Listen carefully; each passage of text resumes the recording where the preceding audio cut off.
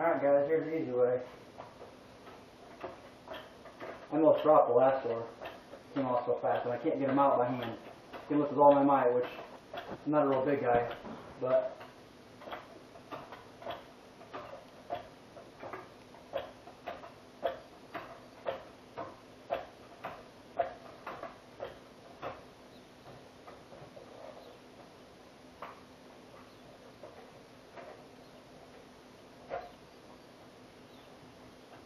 what